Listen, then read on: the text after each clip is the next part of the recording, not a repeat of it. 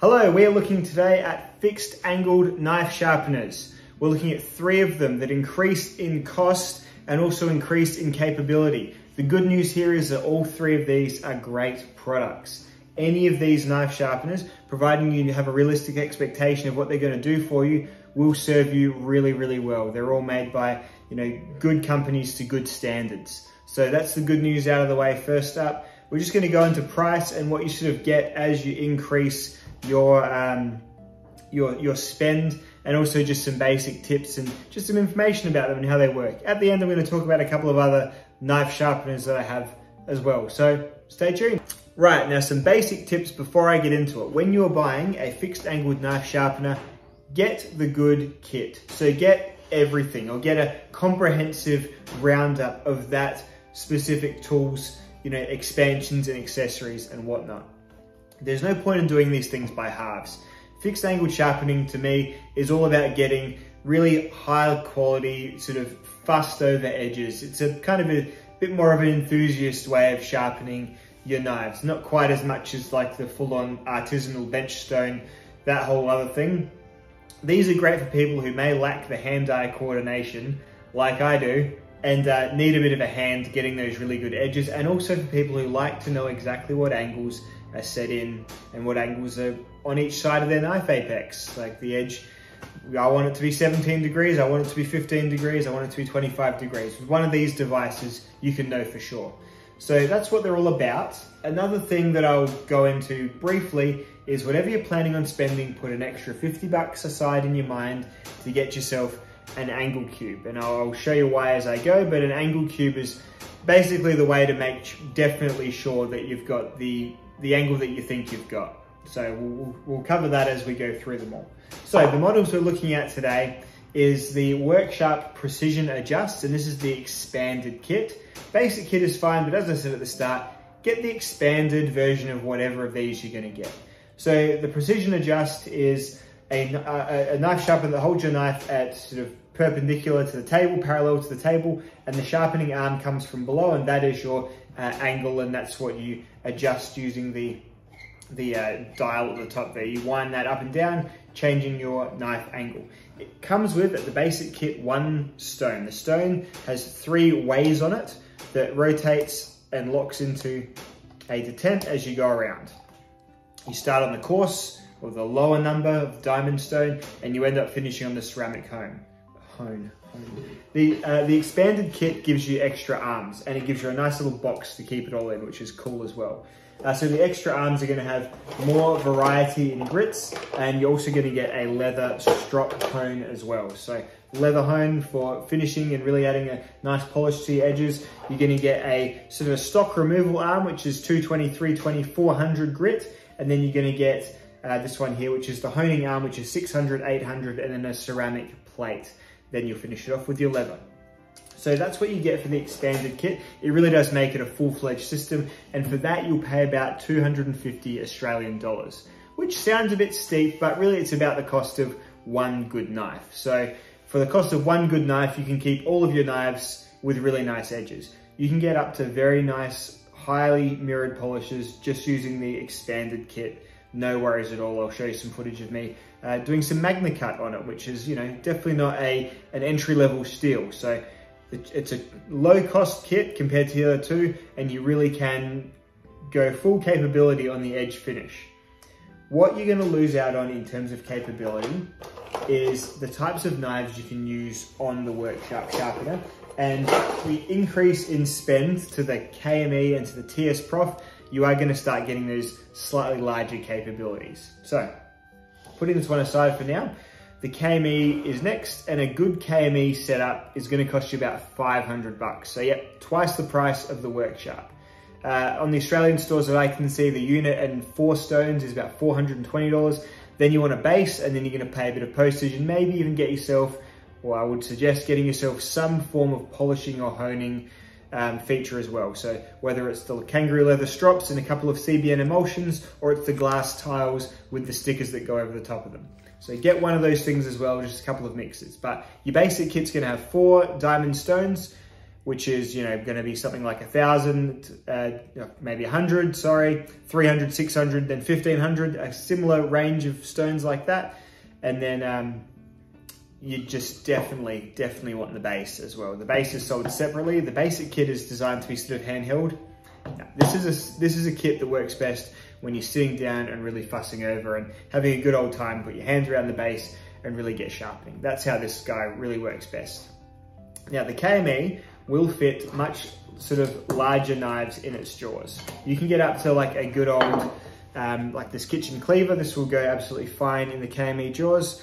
Um, it's held on so there's like a rubberized rubberized mouth part there that holds it. You tighten down this sort of nut here, very, very, very tight. You can go pretty tight on that. And you bring the arm around. And of course, a bit like the other one, it's holding the knife sort of parallel to the table. So it's just this top arm coming down that is providing the, the edge angle there.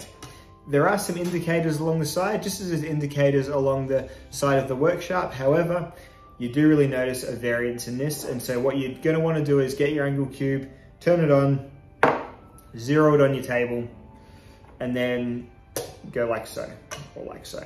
And that will be your true angle. So right now, this is showing me it is at 1585. So whereas the machine here is indicating that it's much higher than at like 20. So you can really do your micro adjusting like so. Much, much easier. Obviously I've got this sort of facing you guys, but for me to do it myself, I just swivel around and this is exactly how I do it. Up to 17 degrees. And again, this is what's causing it because whoops, the, um, the edge is so much further away from the, the mouth part, mouth parts, that it does add some angle to it. It steepens out that angle. If this edge was finishing back here, closer to the, the tool, then the thing droops a little bit further and the angle is different. So that's why an angle cube is really essential. There's a lot of variances that happen with these due to the kinds of knives you're gonna be using. But these jaws in general will open wider and the arm reaches wider and the stone is much broader than the work sharp stone. So we're gonna have, you know, a greater reach, a greater ability to do greater stock removal on bigger knives. So you really are paying to go up for that level of capability. This is about where I'd stop on the KME personally, because generally speaking, with just one contact point, the pressures applied to either end of the knife does start to create a bit more of a lever effect and you can eventually get some, and it's happening now because I haven't got it fully tightened down, you can get some movement, which just becomes a bit of a pain to adjust.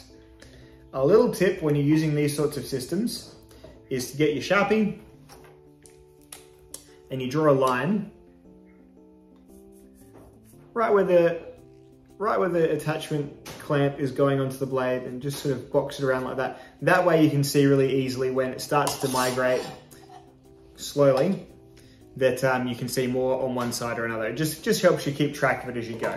But the KME can happily do big knives like this, no worries at all. Whereas the Worksharp, really great for little pocket knives. I'd go up to about maybe the size of this, this SE4 in terms of both thickness. So this is about, you know, 3 16ths thick and in terms of blade length as well is where I would stop at the Worksharp. But most of us are just pocket knife guys anyway. So for pocket knife guys, you can get as comprehensive an edge as you want just using this guy for a pretty good price.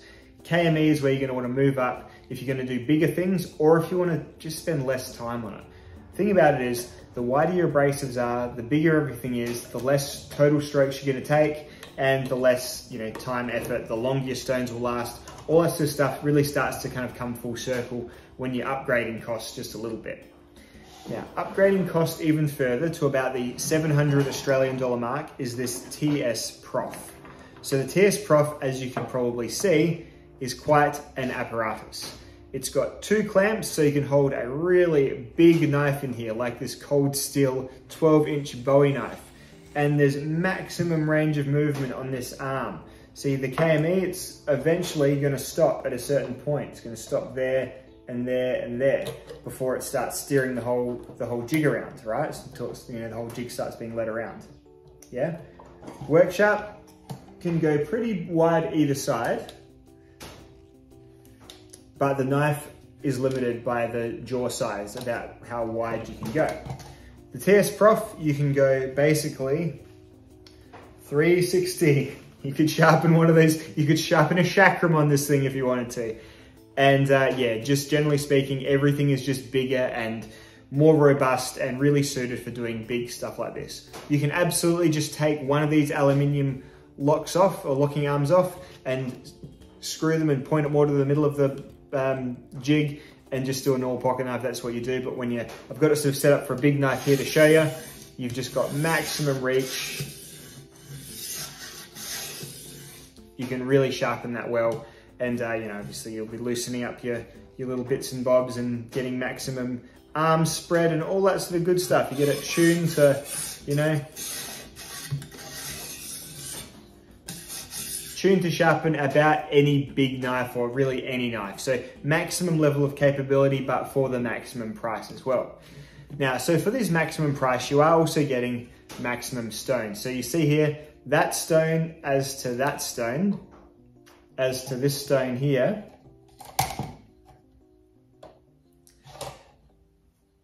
little family portrait going there there, there is a fair variance in terms of they go, they're both much wider than this guy here, and then this guy is about a third longer than this guy here.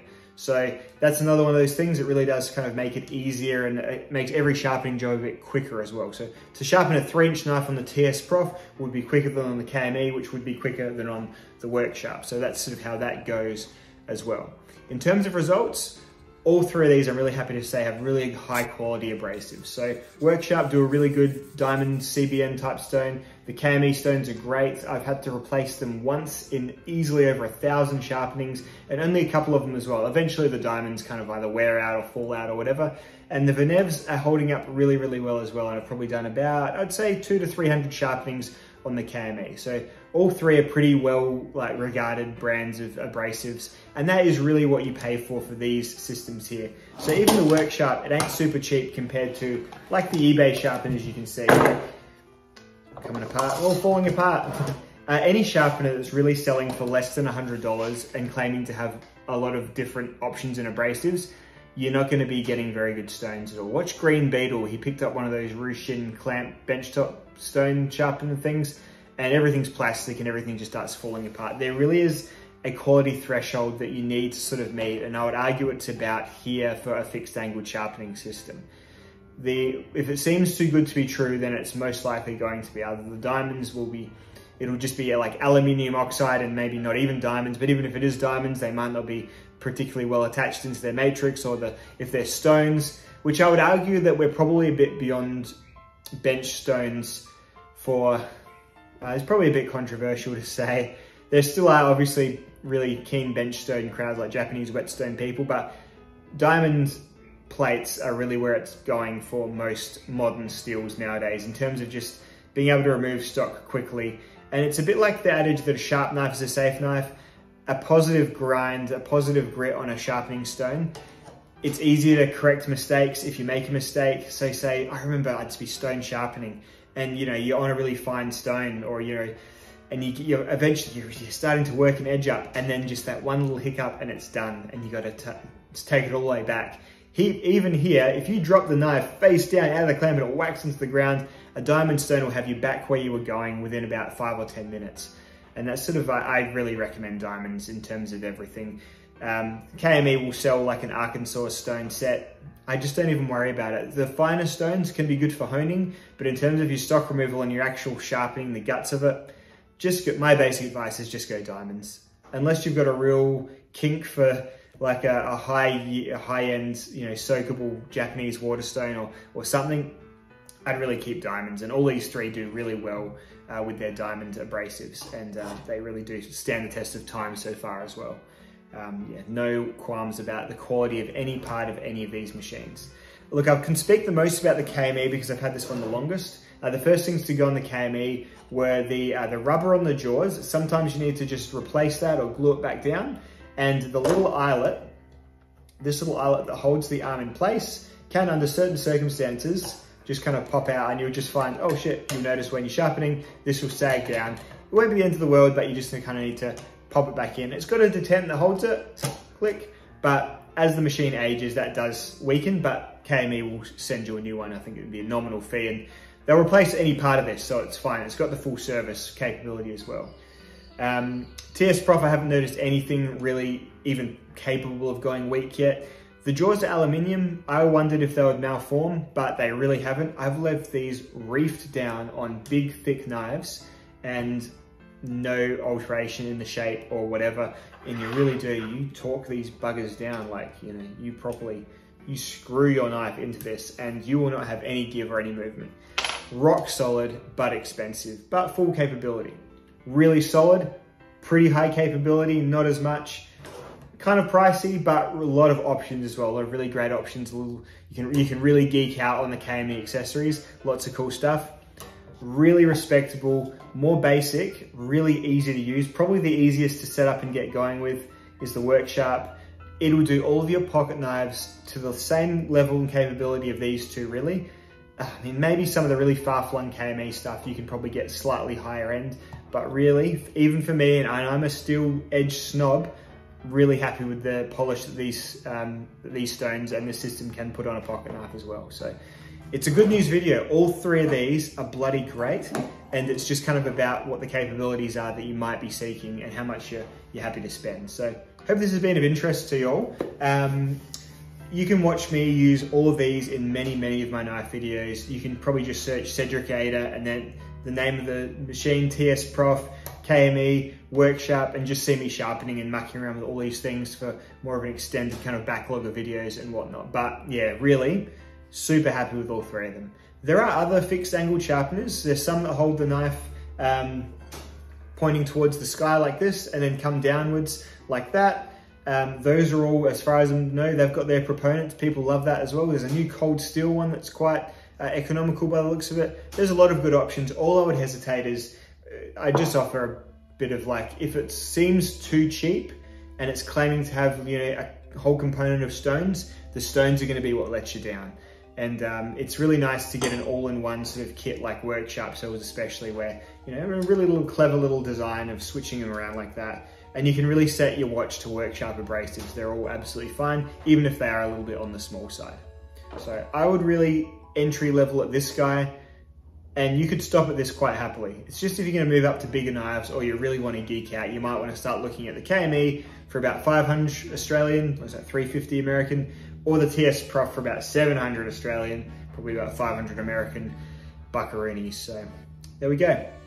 Now, people always ask me as well, how I'm doing with the Tormek and what I think about the Tormek and if I still use my other systems. So let's do a bit of a roundup of those two.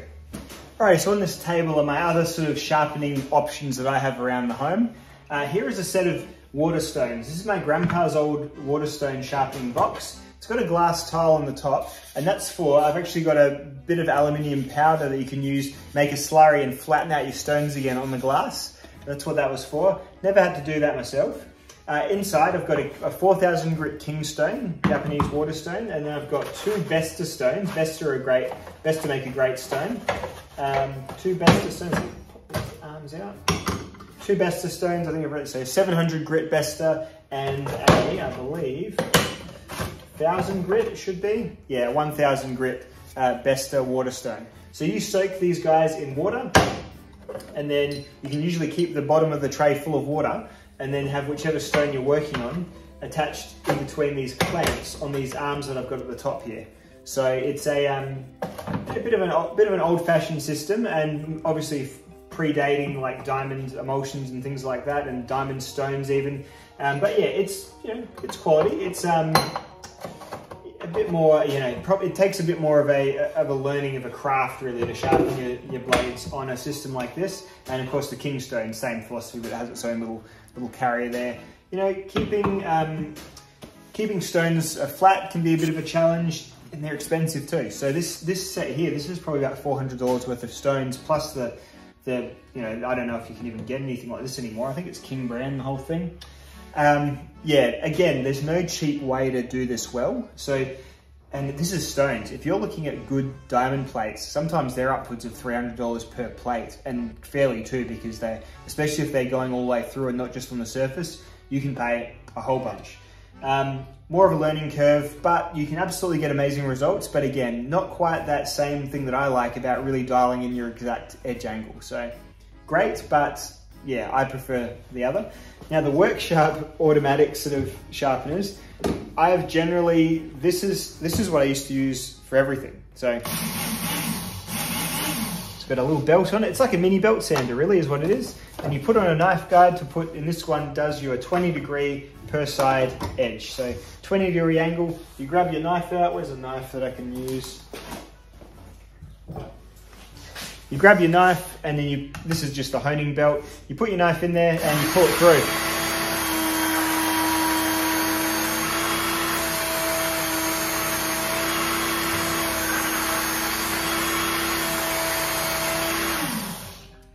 And really it puts a good rudimentary, very sharp edge on a blade. I used to use it for all my pocket knives. It's always a con always a convex edge, like a micro convex at the very least. But I do have some questions about it heating up the blades and just to be able to be bothered to dunk them in water between, you know, sharpenings. I've just, I've kind of backed away from using this for my actual pocket knives. I use it all the time for my axes because I can just, I can freehand an axe. You hold it up, you can bring it to the tool and then you can dunk the axe, whatever, you can do it a bit better. And for my big machetes, my lawnmower blades, absolutely still a really viable tool. But for my knives, I've kind of gone off of it a little bit.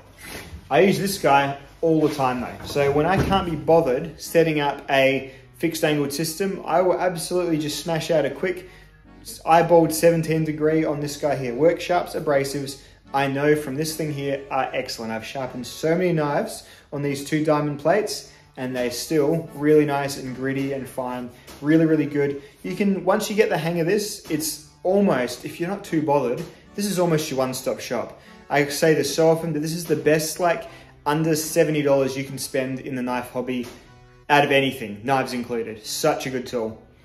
And then lastly is the Tormek. So this Tormek here is like a, I, I, I reckon this is more for, you can do knives on it, but I would argue this is more for your like carpentry tools and things like that. So this is a powered whetstone sharpener. So you turn it on and the whetstone spins, a leather strop spins and leather, leather strops actually attached to the, the driving wheel of the whole, whole machine. Um, you can use this to set your angles with it. Um, I've got a few Tormek videos going. Um, keep the water in there so it doesn't heat up the edge and it spins slow enough that it probably wouldn't do too much anyway in terms of that. Now, the Tormek is very can be very unforgiving. So the Tormek can, if you, especially if you're using it on its rougher grit, can really, with a slight wobble, when you've got a knife going along the jig at the top, so you'll grab your grab your knife jig and you'll uh, put your knife in there.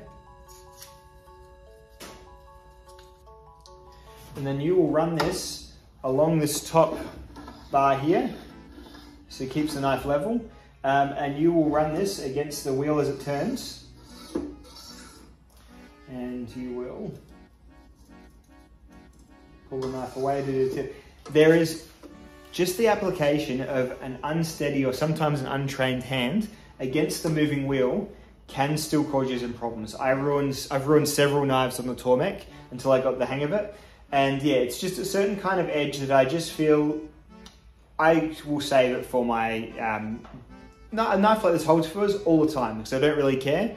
But uh, yeah, I'll save it for my, my more industrial purposes. I'll sharpen my chisels on this, all that sort of stuff where you don't need to be so worried about like a, a tracking style motion because there is still a little bit of give.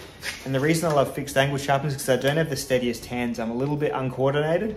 And so this for me, even with the level of mechanical assistance it offers, it doesn't quite, it's not quite unco proof just yet. So I would probably hesitate to recommend the Tormek for everyone, but it is a great tool for people who know how to use it. And you can use, you know, the angle finder, you can really dial in your angles, no worries. It is really cool that you can set your stone, you can set your stone to either rough or smooth by, it'll, it'll mirror match. It'll match what you just wear this down a little bit and it'll take on either the, the, the fine or the coarse. It's really, really cool technology. And this is the T4 model. You can get the Japanese whetstone wheel for the T4, but if you go up to the T8, which is what I would do, if you are gonna get a Tormek, right? You're gonna get a Tormek, get the T8 or the, the model with the 250 millimeter wheels, right? Because they have diamond, they've got blackstone, they've got much more, and you can use it for almost, you could almost start making knives with the um, the blackstone. It's so, it's so good, the silicon wheel. So yeah, it's just the silicon oxide wheel, I think it's called. So just not quite for me as just a knife hobbyist guy, but if you have more industrial size applications, I think Gary Creely one of my favorite custom makers. I think he uses his Tormek for a fair bit of his finishing. So if you get the knack for it, really capable tool. But for everyone else, as cool as it seems, I don't think it's quite for you. So just my little advice on that.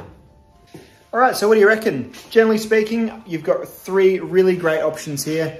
Um, Worksharp, KME, TS Prof, and uh, you really can't go too far wrong with any of them as long as you know those basic limitations, which frankly are pretty obvious just by looking at them. So I uh, hope you've enjoyed, hope it's been of some interest to you, and I'll see you all in the next film. Goodbye.